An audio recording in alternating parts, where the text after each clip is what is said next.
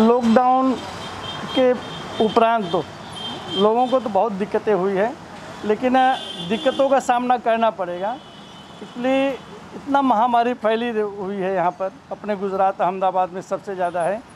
उस माहौल में लॉकडाउन का पालन करना बहुत ही ज़रूरी है। लोगों को खाने पीने की परेशानी तो हुई है लेकिन फिर भी लॉकडाउन का सम्मान करना चाहिए पालन करना चाहिए। आ, अभी प्रेजेंट टाइम में लॉकडाउन को थोड़ा राहत देनी चाहिए। जैसे कि दुकानें जो भी हैं, सुबह आठ बजे से लेकर के भले एक बजे तक या चालू कर, जो मैं नहीं बोल रहा हूँ, पूरे दिन चालू करना चाहिए। आठ बजे से लेकर के एक बजे तक चालू करें तो भी लोगों को बहुत राहत मिलेगी। एक्चुअली जो घर में बैठे हुए हैं, पैसे वैसे सबके खलास हो गए हैं, खाने पीने की वस्तु सब खलास हो गई है। अभी उन्हें पैसे की ज़रूरत है, कुछ परचेस करना है तो पैसा चाहिए उन्हें।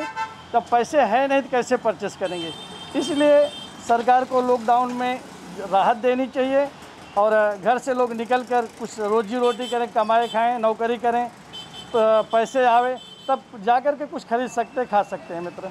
सरकार की गाइडलाइन का हम सभी लोग सम्मान करते हैं और सरकार की गाइडलाइन के हिसाब से पूनम बेकरी सैनिटाइजर मशीन लगा दिया गया है और अंदर उसके बाद अंदर एंट्री करते हैं तो इनको सैनिटाइज भी किया जाता है, हाथ से भी सैनिटाइज कराते कराते हैं हम लोग। और मशीन के अलावा मास्क फर्जियात है बगैर मास्क का कोई भी कस्टमर अगर आता है तो उसको हम एंट्री नहीं देते हैं। मास्क है और अ, हमारे कस्टमर के सर पे टोपी है मास्क है हाथ में दस्ताना है अ, ये सब लगाना ही पड़ता है। एक्चुअली अब कोरोना जैसी महामारी से बचने के लिए अपने को ही ध्यान देना पड़ेगा सरकार के ऊपर हम बहुत नहीं थोप सकते। तो हमें ही कोरोना के बीच में रहकर हम कैसे अपने आप को बचाएँ ये, इस पर विशेष ध्यान देना पड़ेगा लोगों को। एक्चुअली भाव नहीं बढ़ाना चाहिए। इस वैश्विक महामारी में जो कोरोना की संकट आया, इस दौरान किसी भी व्यापारी को भाव नहीं बढ़ाना चाहिए। जो भी भाव बढ़ाते हैं, हम सर उन व्यापारियों से निवेदन करते हैं कि भाई, भाव मत बढ़ाओ इस महामारी में, क्योंकि लोगों के पास खाने की परेशानी है, पैसे है नहीं, बड़े मुश्किल से गुजारा चला पा रहे हैं। तो ऐसी स्थिति में किसी को भाव नहीं बढ़ाना चाहिए। कमाना है, साल भर कमाना है, थोड़ा कम कमाओ सेवा कर दो एक दो महीने तो भी चले। भाव बढ़ाने के खिलाफ मैं हूँ मित्र। निवेदन तो सभी से हमारा यही रहेगा कि सरकार जो भी गाइडलाइन देती है, उसका सम्मान करो, उसका पालन करो और ज़रूरत से जब विशेष ज़रूरत हो तभी घर से निकलो, नहीं तो घर से ना निकलो तो ही बेटर है। बहुत बढ़िया रहेगा। अपनी सुरक्षा खुद करो, सरकार के ऊपर मत छोड़ो। आप स्वस्थ रहो, सुखी रहो, इस हिसाब से आप अपनी व्यवस्था करो। લગભગ આ બેકરી જ્યારથી ખુલી છે ત્યારથી અમે અહીંયા પરચેસ કરીએ છીએ. લગભગ ચારેક વર્ષ તો થઈ ગયા છે લગભગ.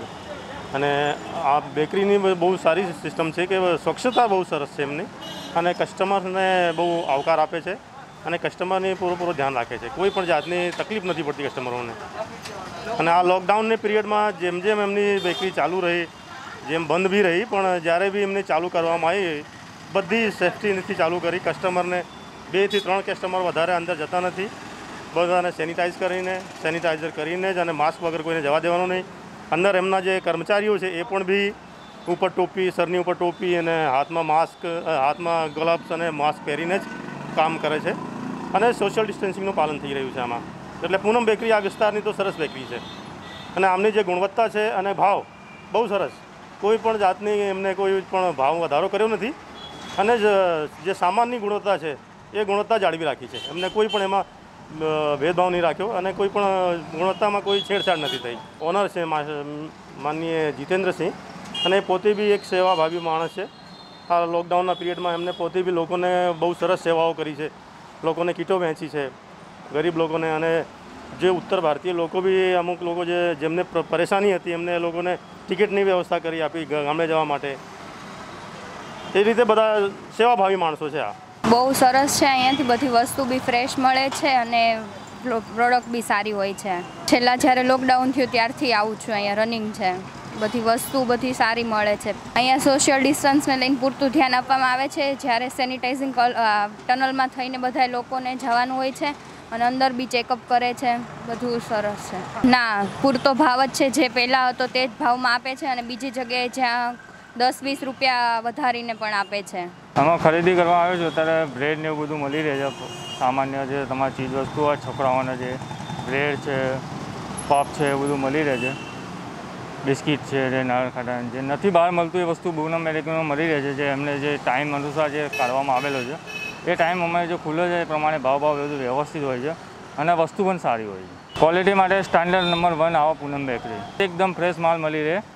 જે આજે જે વસ્તુ ખાધી હોય ને કાલે એ વસ્તુ ખાવા ના મળે. બીજો નવો જ માલ આવે.